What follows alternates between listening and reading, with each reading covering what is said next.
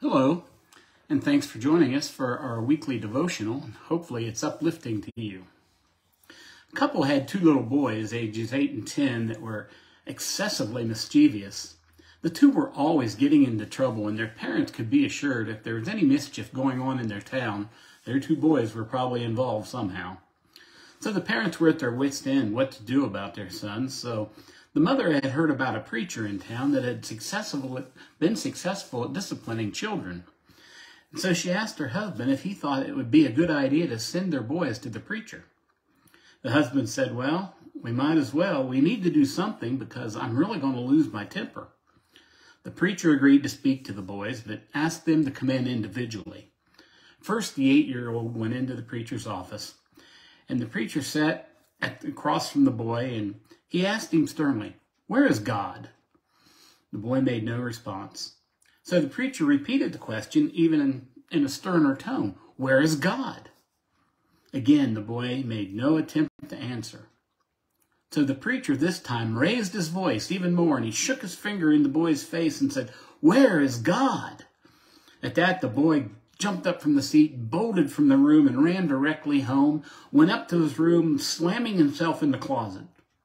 His older brother wasn't far behind and got in the closet with him, and he said, What happened?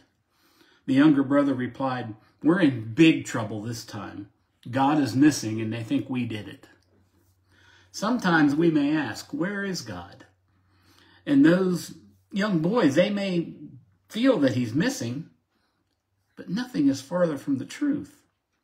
We need to know and we need to believe that, that God is always with us. God is never missing. David wrote in Psalm 139 in verses 7 through 10, Where can I go from your spirit? Where can I flee from your presence?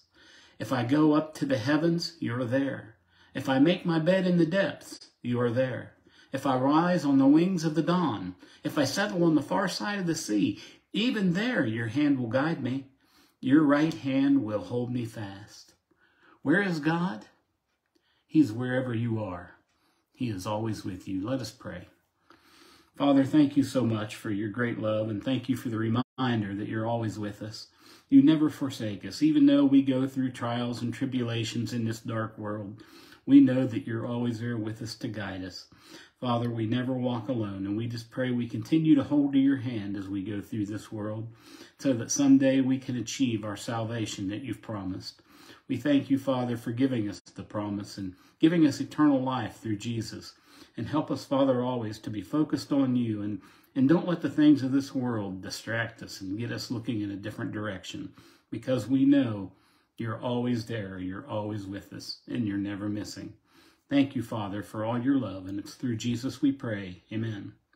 Thank you for joining us. I hope you have a wonderful day.